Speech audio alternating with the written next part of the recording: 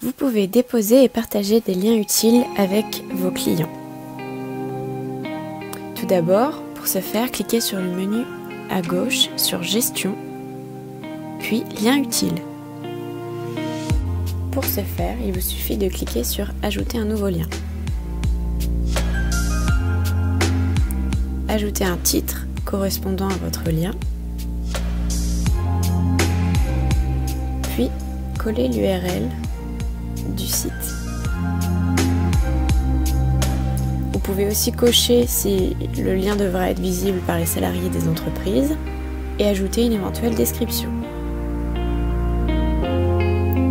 À droite, vous avez toutes vos entreprises. Vous pouvez en choisir une ou plusieurs. Et voilà, votre lien est directement ajouté.